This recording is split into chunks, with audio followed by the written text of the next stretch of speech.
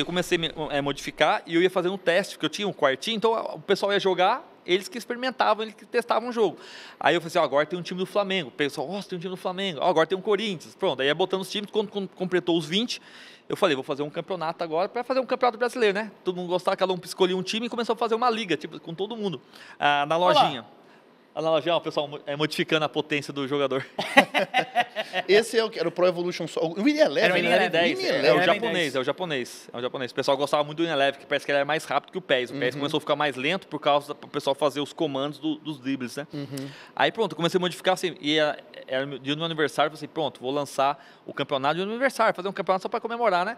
Aí eu falo que do dia 29 de setembro é o dia do Bomba Pet, que é exatamente o meu aniversário, que quando eu fiz o campeonato, que o pessoal começou a, a jogar e perguntou qual vai ser a premiação. Eu peguei Aí eu não tinha pensado em nada de premiação, era só para testar o jogo em si, para ver se está tudo certinho, porque às vezes tinha um outro jogador que fazia travar o jogo todo. Uhum. Então, num campeonato é mais fácil você testar. Aí foi quando o pessoal perguntou, e, e a premiação? Aí eu não pensei. Aí eu estava passando pela cozinha, eu vi que minha mãe estava fazendo chocolate, eu peguei umas bombas de chocolate, botei numa, num saquinho, embrulhei e falei assim, ó, quem ganhar o campeonato vai ganhar as bombas de chocolate. Ficou. Aí pronto. E tipo assim, eu não tinha pensado no nome na modificação. Foi a galera que deu, que falou geral. A galera falou assim, nossa, é Copa Bomba. Começou a chamar de Copa Bomba porque ganhava bomba de chocolate.